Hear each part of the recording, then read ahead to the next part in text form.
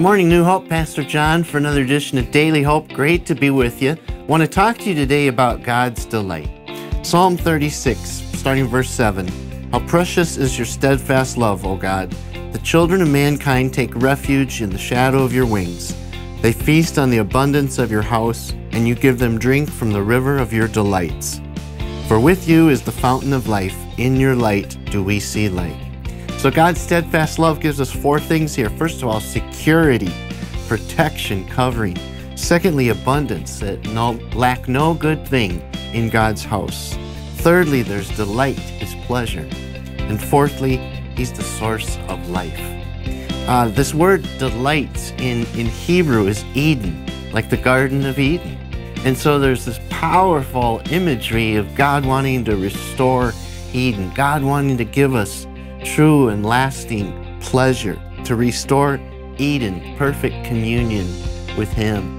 I was meditating on, on this scripture, and uh, God gave me this picture of, of water bursting through a dam and just His power and His love coming through.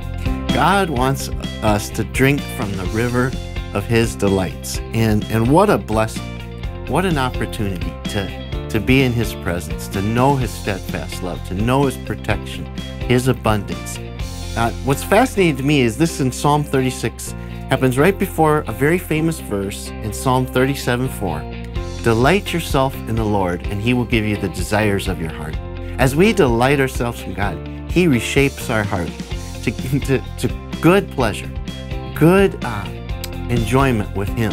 And so back to Mac in the Psalms, this theme of delight. Do we really believe God delights in us, wants to do good for us? Let's lean into that. Let's lean into His pleasure, lean into His goodness, lean in and receive the delight that God wants to give us. Would you pray with me?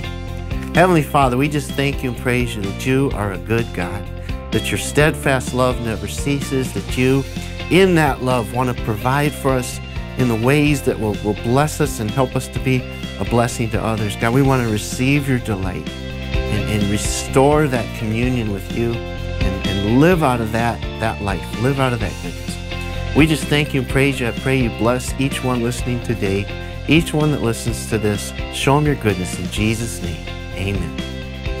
Thanks so much, New Hope.